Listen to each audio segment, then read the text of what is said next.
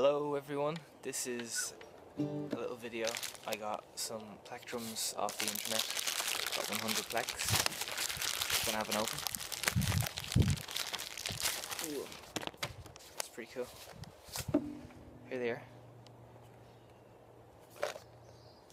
There's a bit of a brand. I got these for 8 euro, including delivery, off the infamous internet. Um, I just keep giving them away all the time, so I ran out. So I decided to stock up. If you go into a shop here, it's uh, like 50 cent for a 100. This actually doesn't look like a 100, this might just be 50, but hopefully it's 100. Look. That's pretty cool. I'll give it a go.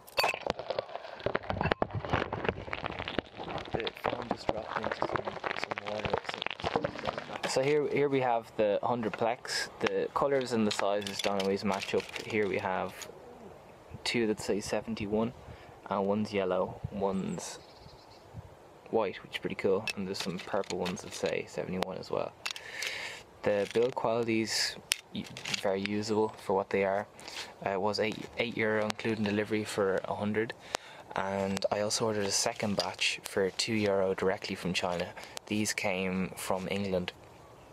Uh, Alice is a Chinese Chinese company and I will buy from them again although I feel that I will not be running out anytime soon even as much as I give away Plex constantly to people without Plex. Uh, so overall very happy. I'd order again.